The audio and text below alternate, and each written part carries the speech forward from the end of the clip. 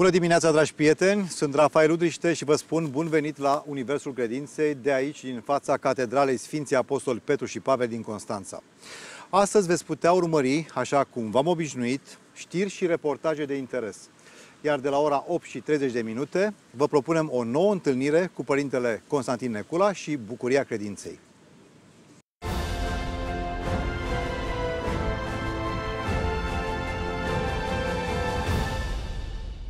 Cred că avem obligația și ca biserică să ne construim catedrele de religie un pic în spațiile acestea. De exemplu, eu sunt convins că un profesor bun de religie poate preda în anfiteatrul de la Plumbuita o istorie asupra nașterii Sfântului Ioan Botezătorul uh, de mare calitate și se poate folosi de tot ceea ce este aici pentru a putea bucura pe copii. Cum cred că, de exemplu, dacă înainte de o oră sau după o oră dă o plimbare prin parcul Plumbuita, copiii sunt câștigați. Adică trebuie să învățăm să respirăm alt soi de pedagogie decât aceea de față în ceafă. În fond, distanțarea socială ne-a învățat și că distanța între bănci trebuie să fie un pic mai mare decât să-i sufli celuilalt în ceafă și să-i vezi doar ceafa. Probabil că dacă am fi stat unii lângă alții într-un cer, privindu-ne și învățând, vorbind de unii în fața unii. celorlalți, inclusiv istorie, cred că am fi fost salvați de foarte multe din, din scăderile de care astăzi nu trebuie să ne bucurăm pentru că întristează. Rămâneți împreună cu noi. Jurnalul de actualitate religioasă începe acum.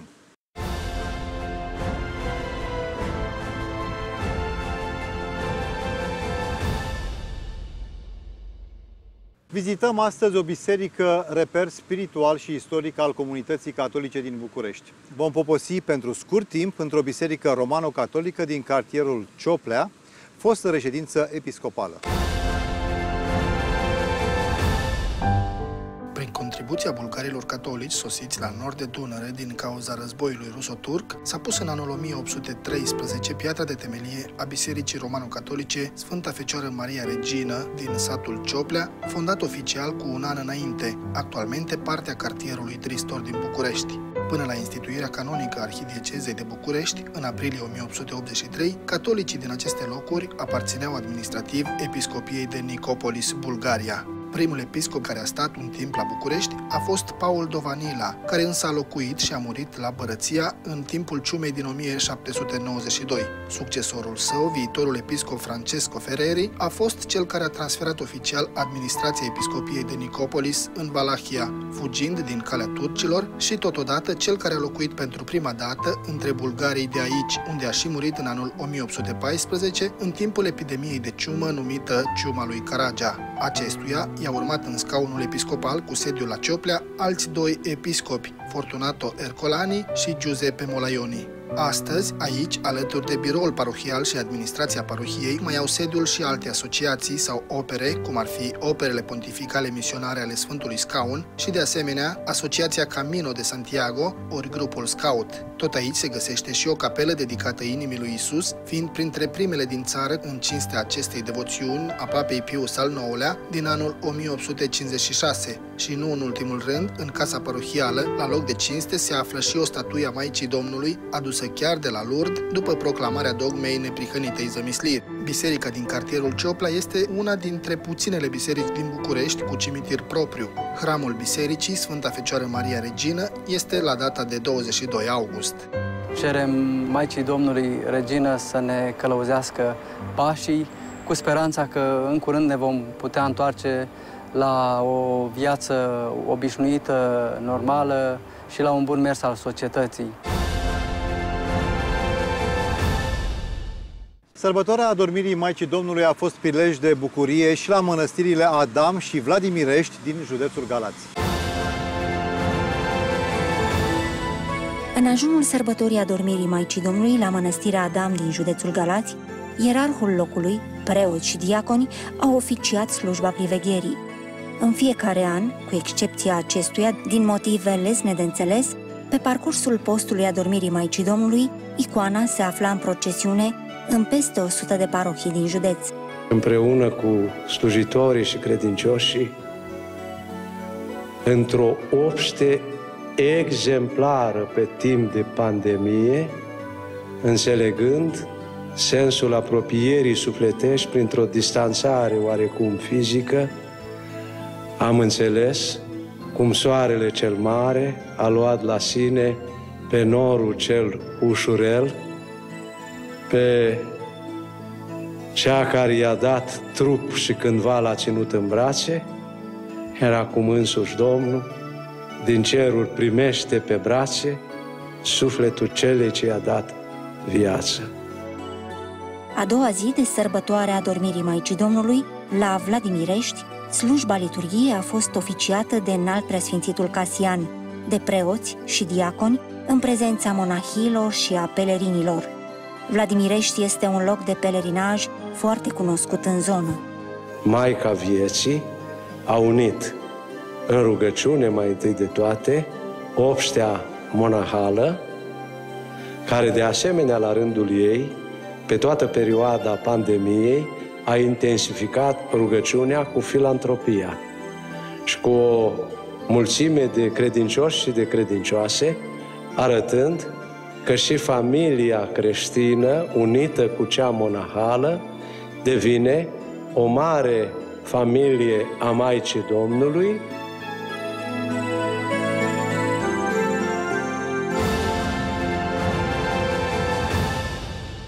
Arhiepiscopia Aradului are în derulare un nou proiect social prin care va oferi mâncare unui număr de 170 de persoane vârstnice din medii defavorizate.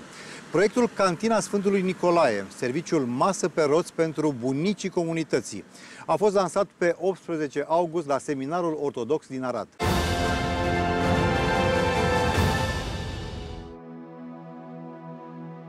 Proiectul propus de Arhiepiscopia Aradului a primit o finanțare europeană de aproape 3 miliarde de lei bani nerambursabili și se va derula pe o perioadă de 30 de luni. Scopul proiectului este acela de a reduce numărul de persoane vârstnice aflate în situații de vulnerabilitate din municipiul Arad.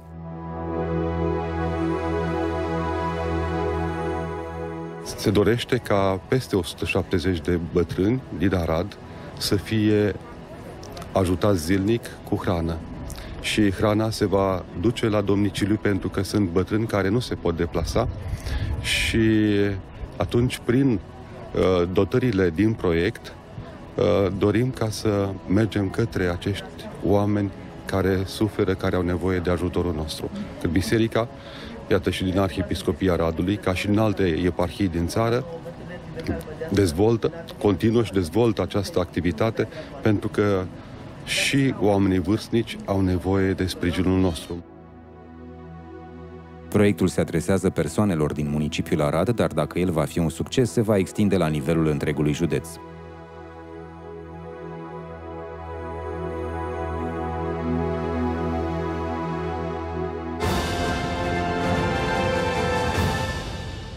Un decret regal din 15 august 1902 hotărăște ca de sărbătoarea adormirii Maicii Domnului să fie Ziua Marinei. Dacă în fiecare an această zi era sărbătorită cu fast, anul acesta, din cauza crizei sanitare impuse de pandemia de COVID-19, evenimentele au fost restrânse fără public. La Giurgiu, spre exemplu, a fost organizată cu acest prilej expoziția Dunărea României Mari, portret fotografic.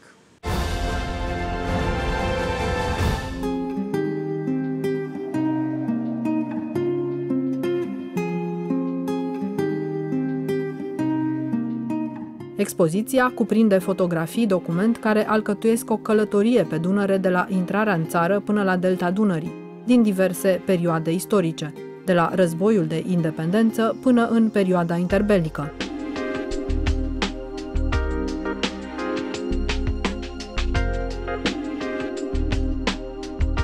Este o expoziție pe care uh, o facem în colaborare cu Biblioteca Națională a României, toate aceste fotografii găsindu-se în arhivele Bibliotecii Naționale.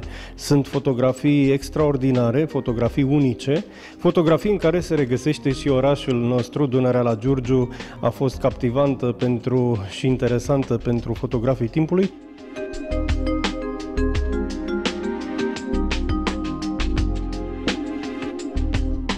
Expoziția Dunărea României Mari, un portret fotografic, este găzduită de Muzeul Județean Teohari Antonescu din Giurgiu până la sfârșitul lunii septembrie.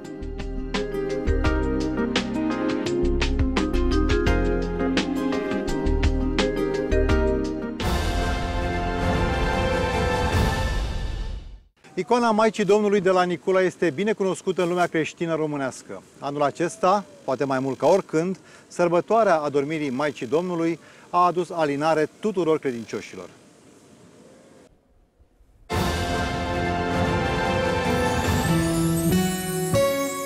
Sărbătoarea adormirii Maicii Domnului de la Nicula a adunat și anul acesta sute de credincioși, deși condițiile au fost stricte, impuse de contextul pandemic, obligativitatea purtării măștii și a distanței fizice între credincioși. Icoana făcătoare de minuni a Maicii Domnului a fost dusă în altarul de vară, iar după miezul nopții, preoții au înconjurat biserica cu icoana. Se spune că încă din anul 1699, atunci când au existat semne minunate, suferințele oamenilor și problemele lor au găsit alinare prin rugăciune la Sfânta Icoană.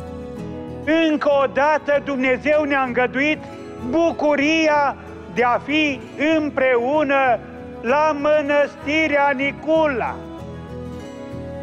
cu prilejul hramului, la mănăstirea Nicula, unde este icoana făcătoare de minuni a Maicii Domnului, pe care a zugrăvit-o în 1681 Părintele Luca din Niclod. Dăm slavă lui Dumnezeu că suntem împreună. Iar în cuvântul meu de învățătură, pe care îl intitulez așa, prin rugăciunile Maicii Domnului, doctorul cel mare este tămăduitorul sufletelor și al trupurilor.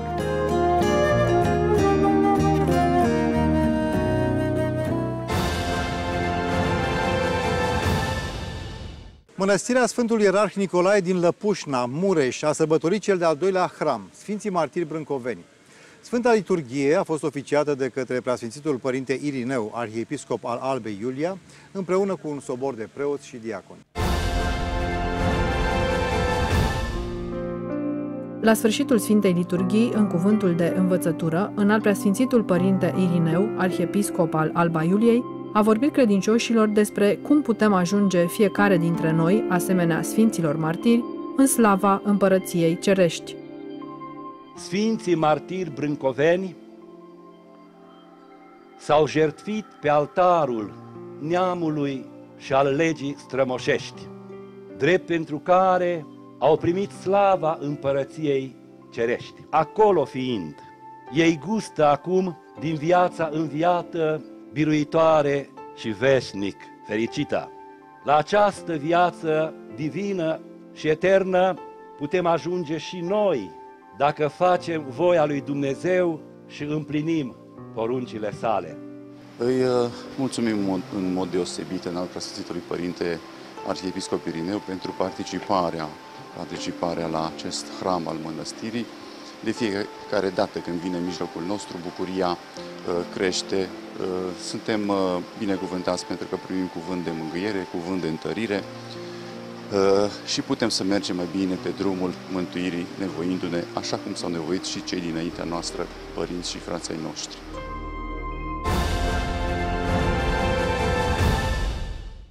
În comuna Lumina din județul Constanța a fost întemeiat de curând un important așezământ monahal al ortodoxiei dobrogene. Cu prilejul sărbătoririi Sfinților Martiri Brâncoveni, lăcașul de cult l-a avut ca oaspete de seamă pe preasfințitul Veniamin, episcop al Basarabiei de Sud. Preasfințitul a săvârșit Sfânta Liturghie alături de ierarhul locului, înalt preasfințitul Părinte Teodosie. Mănăstirea Sfânta Treime a fost înființată pentru a fi o continuatoare a tradițiilor așezământului monahal bucureștean Văcărești demolat în anii comunismului. A fost concepută ca un centru creștin-ortodox de cultură, dar și unul medical-social. Un loc în care va fi cinstită memoria străbunilor și a martirilor neamului, a celor care s-au jertfit pentru credință, ori a celor uciși în temnițele comuniste. Pe această din urmă coordonată s-a înscris și prăznuirea Sfinților Martiri Brâncoveni pe 16 august, când doi ierarhi, în al preasfințitul Teodosie, arhiepiscopul Tomisului și preasfințitul Veniamin, episcopul Basarabiei de Sud, s-au rugat pentru Constantin Voievod și fiii săi, pentru sfednicul Ianache, martirizați în anul 1714. Mulțumim lui Dumnezeu pentru bucuria de a fi împreună și mai ales ne rugăm Sfinților Martiri Brâncoveni ca să ne ajute să fim și noi asemenea lor mărturisitori și curajoși, demni, păstrători ai dreptei credințe și ai spiritualității noastre ortodoxe și în același timp să purtăm cu multă demnitate crucea lui Hristos acolo unde ne aflăm. Și pentru că în Basarabia este o acută lipsă de slujitori, în cadrul Sfintei Slujbe, preasfințitul Veniamin a hirotonit un diacon. De asemenea, părintele ieromonah Justin Danilă a fost hirotesit protosinghel și instalat stareț al mănăstirii Văcărești Noi. Am hirotonit într-un diacon pe unul dintre tinerii din uh, episcopia noastră care s-a angajat ca să desfășoare o lucrare misionară și să se implice în diversele activități pastoral-misionare, cultural-sociale și educative din eparhie. Pentru că Republica Moldova este încă stare de urgență, am uh, rugat pe Noul Preasfinția sa ca să aprobe ca în această zi să-l hirotonim aici, la Constanța, deși el va sluji în Basarabia, pentru ca să poată participa și familia, și părinții, și alți prieteni.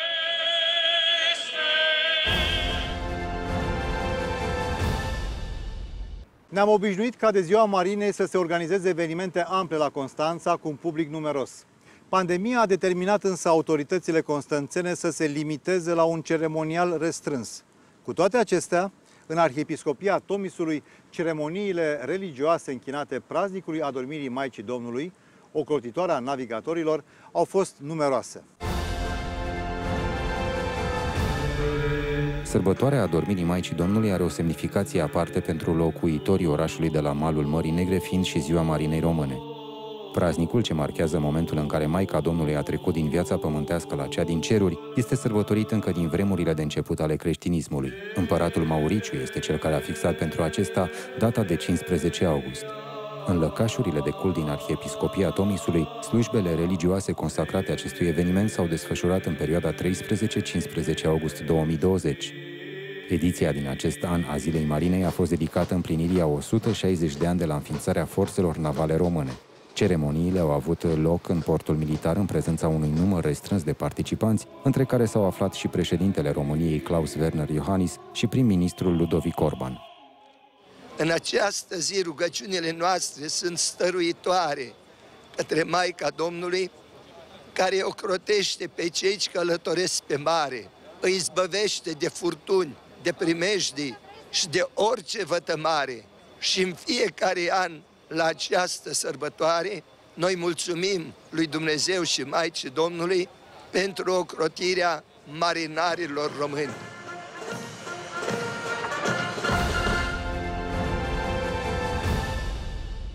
Anul acesta s-au împlinit 554 de ani de la punerea pietrei de temelie a mănăstirii Pudna, importantă ctitorie a Sfântului Ștefan cel Mare. Și tot pe 15 august a fost sărbătorit și Hramul Sfintei Mănăstiri, ocazie cu care numeroși credincioși veniți din toată țara, dar și din străinătate, au fost prezenți la eveniment. Sfânta Liturghie a fost săvârșită de înalt preasfințitul părinte Calinic, arhiepiscopul Sucevei și Rădăuților, într-un sobor impresionant de stareți, preoți și diaconi, din care au făcut parte și preoți din Mitropolia Cernăuților. În cuvântul de învățătură, în al presințitul Calinic, a făcut o reconstituire a vieții Maicii Domnului pe baza textelor Sfintei Scripturi, ale Sfinților Părinți și pe baza scrierilor apocrife. Atât sfârșitul pământesc al Maicii Domnului, cât și pururea fecioria Maicii Domnului, iubiți credincioși, rămân taine ale lui Dumnezeu încă nerevelate în complexitatea lor minții omenești. Și fiind taine, aș spune împreună cu poetul, eu nu strivesc corola de minunea lumii și nu ucid cu mintea tainele ce se ascund în flori, în ochi, pe buze, ori în morminte. Să mulțumim Preasfintei Născătoare de Dumnezeu, Maicii Sfinte sub acoperământul căreia ne aflăm și ne aflăm nu de o zi, de două sau de trei, nu de un an sau de zece ani sau de o sută de ani, ci de sute de ani, de 554 de ani, de când Maria sa Ștefan a pus temeliile acestui sfânt locaș. Din consemnările vremii se cunoaște faptul că în ziua de 15 august 1871, la Marea Sărbătoare a Pudnei, au fost prezenți Mihai Eminescu și Ioan Slavici, iar Ciprian Porumbescu a cântat Daciei întregi. În ziua prăznuirii Sfinților Martiri Brâncoveni, Părintele Patriarh a săvârșit slujba de sfințire a bisericii cu hramul Adormirii Maicii Domnului din cartierul bucureștean Titan. Părintele Patriarh Daniel a vorbit despre semnificația în plan istoric, cultural și spiritual al epocii brâncovenești și a îndemnat pe creștini să păstreze credința cea adevărată, indiferent de greutăți și ispite. Parohia Acoperământul Maicii Domnului din cartierul Titan a fost înființată în 2002. Slujbele au fost oficiate la început într-o incintă militară, alcătuită din patru corturi de campanie. Piatra de temelie a lăcașului de cult a fost pusă în 2004. Lucrările au fost duse la bun sfârșit de către comunitatea parohială, împreună cu părintele Mihai Stavără, care a fost hirotesit iconom stavrofor cu prilejul sfințirii lăcașului de cult. Iată că ne-a ajutat Maica Domnului ca să fie împodobită biserica noastră cu acest har dumnezeiesc al sfințirii. Să știți că au fost uh, ani de muncă, ani de rugăciune, ani de statornicie, ani de multă luptă duhovnicească în sensul bun al cuvântului, de conlucrare cu credincioșii noștri pe calea credinței, pe calea aceasta a mărturisirii creștine. Slujba de târnosire și liturghia arhierească au fost oficiate de către preafericitul Părinte Patriarh Daniel, împreună cu preasfinția sa Varlam Ploieșteanul, episcop vicar patriarhal.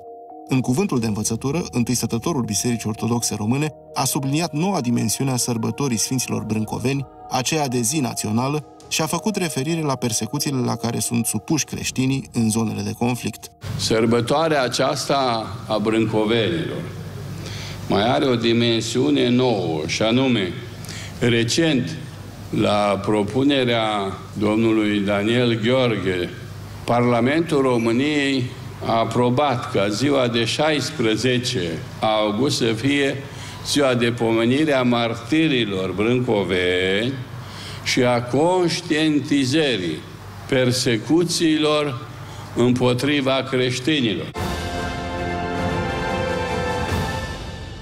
Credincioșii au participat în număr mare la Sfânta Liturghie oficiată la Biserica Sfântul Gheorghe Nou din București, în ziua Sfinților Martiri Brâncoveni.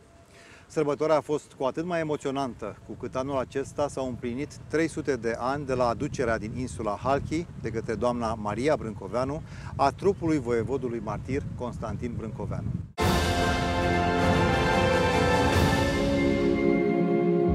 Sărbătoarea Sfinților Brâncoveni a avut în acest an o semnificație aparte, întrucât a fost celebrată pentru prima dată Ziua Națională de Conștientizare a Violențelor împotriva creștinilor. La Biserica Sfântul Gheorghe Nou din București, ctitoria domnitorului martir Constantin Brâncoveanu, Sfânta Liturghie Arhierească a fost săvârșită de către preasfinția sa Ieronim Sinaitul, episcop vicar patriarhal, împreună cu părintele paroh Emil Nedelea Cărămizaru și cu alți clerici. Lăcașul de cult adăpostește moaștele Sfântului Voievod Constantin Brâncoveanu, care au fost aduse în anul 1720 din insula Halki de către doamna Maria Brâncoveanu, soția voievodului martir. Dacă ne vom îndrepta privirea la sfinții pe care îi sărbătorim astăzi, Constantin Vodă Brâncoveanu, împreună cu fiii săi Constantin, Ștefan Radu și Matei și Sfetnicul Ianache, vom vedea că au fost ființe alese. Vom vedea că Sfântul Voievod Constantin a primit o educație aleasă, nu numai prin faptul că era descendent din uh, familii voievodale, ci pentru că a fost iubitor de învățătură, că sfetnicul Mihail Cantacuzino, pentru că rămăsese orfan, l-a ajutat să învețe tot ceea ce era mai important în vremea sa. Aspru cu cei îndârjiți în săvârșirea răului, blând cu cei ce arătau pocăință sinceră și dorință de îndreptare, Părintele Laurențiu a fost în viața duhovnicească ca o stâncă, iar ca stareț, mare ctitor. Spunea în alt preasfințitul Varsanufie, arhiepiscopul Râmnicului, atunci când părintele Laurențiu Popa, starețul mănăstirii Stănișoara din Vâlcea, a trecut la cele veșnice. Dumnezeu să-l odinească în pace.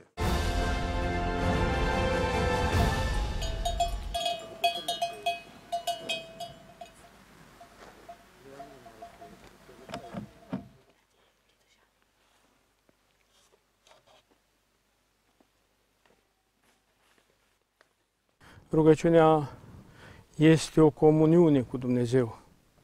Nu este numai un monolog sau un dialog, cum mai spunem noi, ci este o comuniune, este o, o așa o împărtășire cu Dumnezeu. Este a dou, al doilea fel de împărtășire cu Duhul Sfânt prin rugăciune.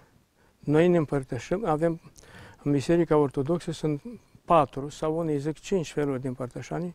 Prima și cea mai mare este împărtășarea cu Sfintele Taine, iar a doua, aproape la aceeași, aceeași intensitate de, de, de, de unire cu Dumnezeu, este rugăciunea. Prin rugăciune, toți ne putem împărtăși cu Dumnezeu, cu Duhul Sfânt, nu numai în biserică, nu numai când ne împărtășim cu Sfintele Taine, ci în tot momentul și în tot locul, așa cum spune prorocul David, în loc, tot locul stăpânirii tale binecuvintează sufletul al meu pe Domnul. Deci în tot locul și în tot timpul noi ne putem uni cu Dumnezeu prin Sfânta Rugăciune, prin care ne poate ajuta să ieșim din toate încurcăturile, așa și țăsăturile acestea de ispite care ne face diavolul în lumea asta.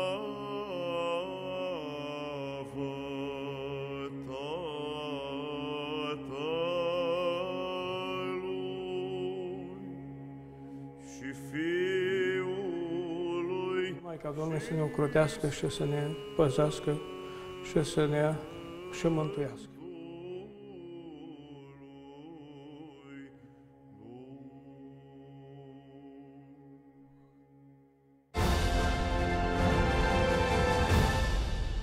Iar acum vă invit să-l urmăriți pe jurnalistul Silviu Andrei Vlădăreanu. Urmează sărbătorile săptămânii.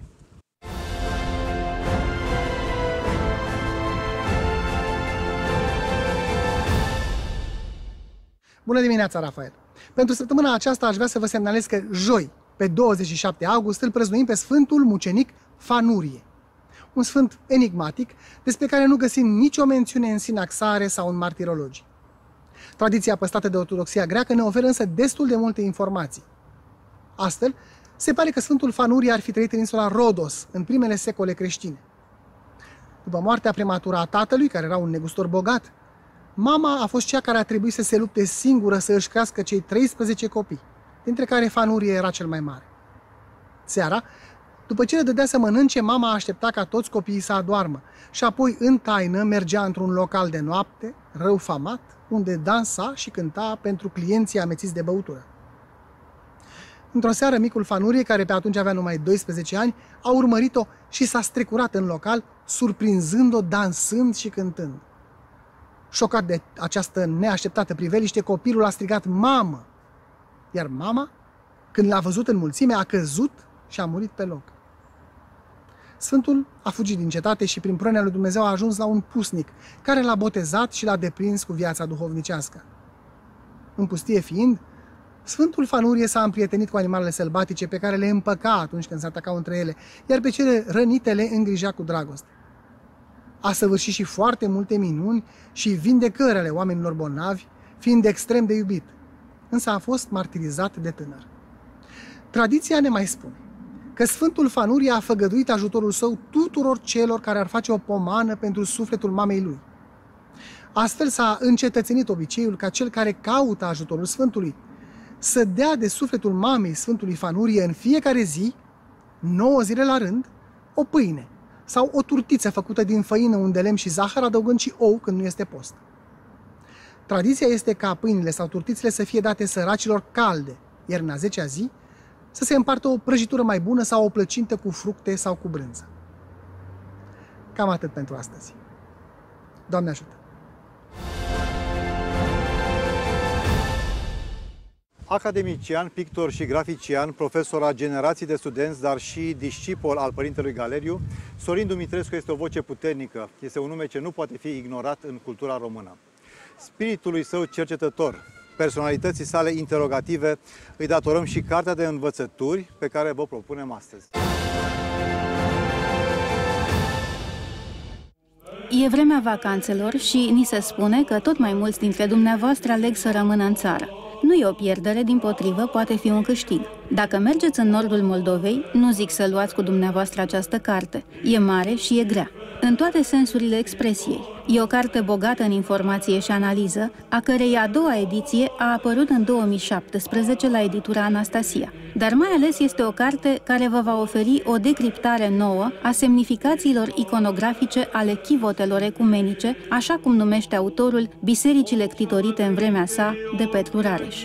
Și dacă nu veți cuprinde de la prima lectură viziunea autorului privind estetica omului medieval, goticul introvertit ca prezență stilistică integrată stilului ecumenic moldav sau particularitățile tipologice ale ctitorului medieval, ori elementele teologiei ofrandei, teme dezbătute în prima parte a lucrării, veți fi surprinși în cea de-a doua parte a ei să vă cufundați în descifrarea vedeniei asupra înfricoșatei judecăți a Sfântului Nifon, document cunoscut lui Petru Rareș, dar ascuns multă vreme în podul mănăstirii Dionisiu din Sfântul Munte, până în 1970, când a fost redescoperit, tradus și publicat și la noi și care constituie una din sursele de inspirație în reprezentarea picturală a judecății de apoi, operă iconografică prevestitoare a trecerii înfățișate pe zidurile acestor biserici chivot, păstrătoare ale legii dumnezeiești.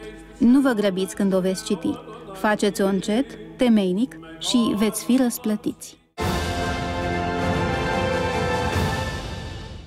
De anul acesta, ziua de 16 august este declarată Ziua Națională pentru comemorarea martirilor brâncoveni și de conștientizare a violențelor împotriva creștinilor. Conform legii adoptate de Parlamentul României în iunie anul acesta, în semn de conștientizare de către cetățenii români a persecuțiilor la care au fost și sunt supuși astăzi creștinii în lume, se iluminează în roșu Parlamentul României, Guvernul, sediile autorităților administrației publice centrale și locale, Arcul de Triumf și Palatul Mogoșoaia. De asemenea, ieri a fost și Ziua Internațională pentru comemorarea victimelor actelor de violență bazate pe religie sau credință, așa după cum a fost declarată de Adunarea Generală a ONU. Pentru a afla mai multe pe tema persecuției mondiale împotriva creștinilor, am invitat-o pe Adina Portaru, avocat la organizația juridică ADF International din Bruxelles, care luptă pentru apărarea libertății religioase în lume, să ne spună câteva cuvinte.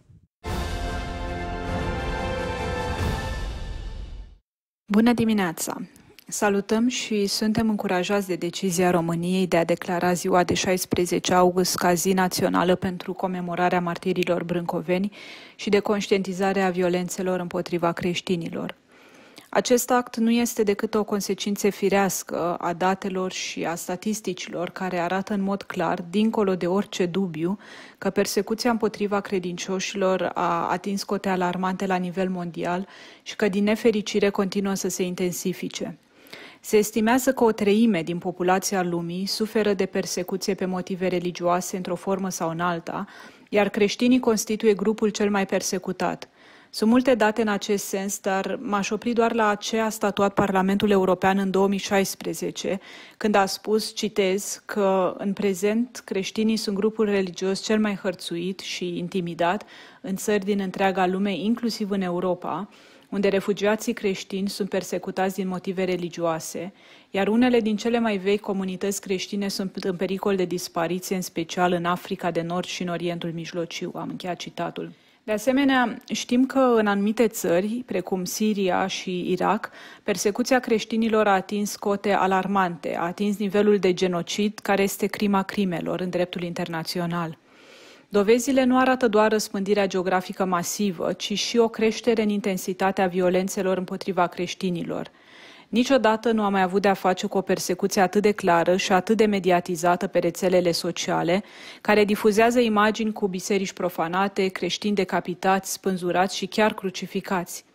Fiecare țară trebuie să dezbată în mod serios răspunderea globală de a acționa în fața unor asemenea atrocități. Aș încheia prin cuvintele fostului secretar de stat pentru afaceri externe din Marea Britanie, Jeremy Hunt, care a afirmat nu sunt convins că eforturile noastre au fost mereu pe măsura gravității problemei sau evidenței factuale că aceia care îndură cea mai mare povară a persecuției sunt deseori creștinii. Nu trebuie să permitem niciodată ca o înțelegere greșită a corectitudinii politice să ne inhibe răspunsul. În continuare, editorialul Universul Credinței semnat de Răzvan Bucuroiu.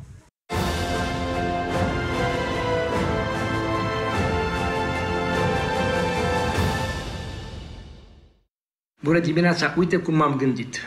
Voi vorbi astăzi, în mod deosebit, despre textul din Apostol care se citește în biserici, Corinteni 1. În acest pasaj de certă măestrie literară și rafinament psihologic, Sfântul Apostol Pavel explică puțin legătura dintre spirit și materie, dintre lucrarea duhovnicească și suportul ei material. Pe scurt, nu poate trăi nimeni fără cele materiale, chiar dacă propovăduiește cele înalte. Nu levitează nimeni peste materie, nu plutește serafic peste necesitățile existenței biologice ale vieții în trup. Dacă îl propovăduiesc pe Hristos toată ziua, seara tot trebuie să mănânc ceva, nu? Dacă toți ceilalți oameni își iau plata muncilor, de ce nu și-au luat și cei care trudesc în ogorul Domnului? Ei sunt îngeri deja? Nu, sunt oameni și au trebuințele lor.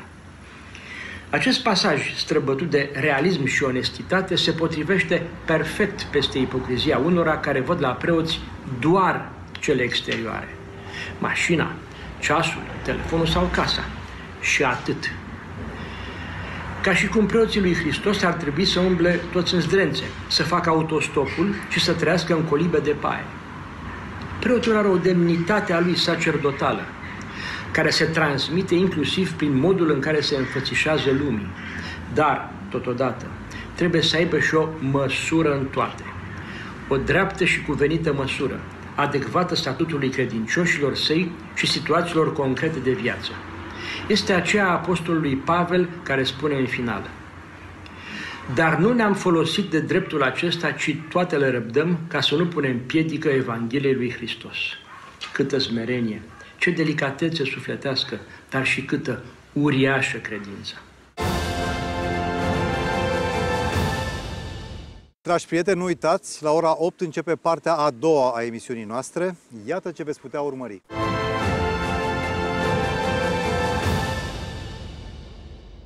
Sfântul Ioan Casian spune uh, că postul este temelia oricărei uh, lucrări duhovnicești.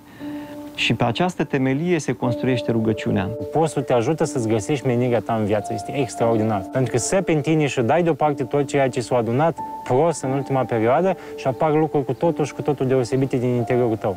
Iesi în față adolescentul care trebuia să devină ceva la un moment dat. Acum, de când sunt în monahism și am exersat și eu cât am putut după măsura mea, postul acesta doar cu apă, am văzut că, într-adevăr, postul este o minune în viața omului. Zicea o doamnă medic din Rusia că dacă reușești să ții acest post cu apă, poți să faci orice. Și asta mi-a plăcut foarte mult. Deci cred că ne întărește și voința și atunci uh, suntem entuziasmați că într-adevăr putem să facem orice după această cură de post. Dumnezeu ne iubește în fiecare clipă a vieții noastre și aceasta se vede mai ales prin oamenii pe care ni scoate în cale. Urmează ora de religie.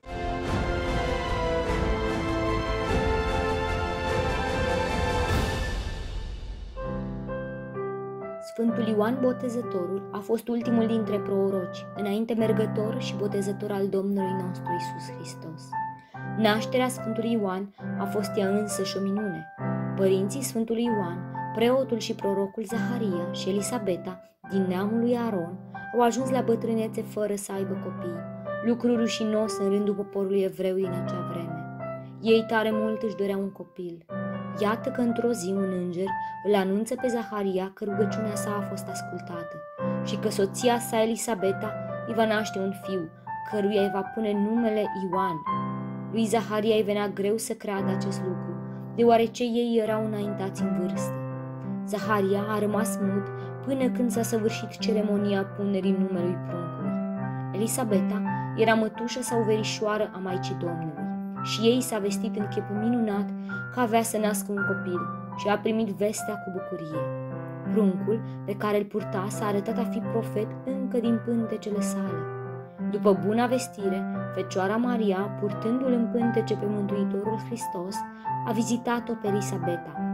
Când cele două femei s-au întâlnit, Ioan a săltat de bucurie în pântecele Maicii lui, iar mama lui s-a umplut și ea de Duhul Sfânt și a binecuvântat-o pe Maica Domnului și pe prunc zicând, Binecuvântată ești tu între femei și binecuvântat este rodul pântecelui tău. Când a ajuns aproape de vârsta adultă, Ioan s-a retras în pustie, ducând o viață simplă, de poș și rugăciune. Purta o haină aspră din păr de cămilă, încinsă cu o curea de piele și se hrănea puțin, petrecându-și vremea în rugăciune. Ioan avea să primească de la însuși Domnul Hristos mărturia că el era cel mai mare dintre toți oamenii născuți din femeie. Ioan îi boteza pe oameni în apa Iordanului în semn de curățire a păcatelor. Pentru viața sa îngerească, Sfântul Ioan s-a învrednicit să-l vadă pe Mântuitorul, a cărui cale o pregătise, și să-l boteze în Iordan, fiind atunci martorul descoperirii Sfintei Trăimi. Pentru întreaga creștinătate, Sfântul Ioan rămâne cel mai mare sfânt, cel mai mare proroc și înainte mergătorul Domnului. Creștinii îi poartă cu drag numele și îi zidesc lăcașuri de închinare. Exemplul său rămâne peste timp un stâlp de neclintit al bisericii creștine și întărire pentru toți cei care doresc să meargă pe drumul cunoașterii lui Dumnezeu. După moartea Sfântului Ioan, ucenicii săi i-au luat trupul și l-au îngropat în Sevastia. Moaștele sale au fost regăsite mult mai târziu, în chip miraculos, iar acum fragmente din acestea se găsesc în mai multe locuri din lume. Noi, cel care îl iubim și îl cinstim cu drag pe Sfântul Ioan, îi grăim așa. Bucură-te, Sfinte Ioane, înainte mergător al Domnului nostru, Iisus Hristos.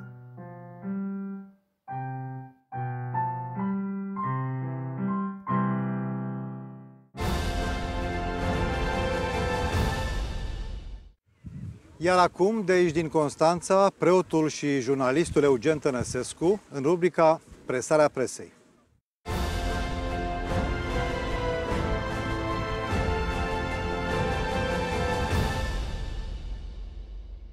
Doamne ajută, Rafael, bun regăsit la o nouă ediție a rubricii noastre. Începem cu o știre și anume în România am avut prima zi națională pentru comemorarea martirilor brâncoveni. O zi de conștientizare a violențelor împotriva creștinilor ne anunță bazilica.ro. Este foarte important că avem această zi pentru că, într-adevăr, așa cum spun statisticile, creștinii încă sunt prigoniți. Patriarhia Română recomandă o recuperare memorială a martirului creștin, apărarea și promovarea libertății religioase ca drept fundamental al persoanei și astăzi mai avem violențe contra creștinilor, forme de persecuție variate, de la cristofobia noilor ideologii până la execuții filmate ale unor persoane care nu poartă altă vină decât aceea de a fi creștini.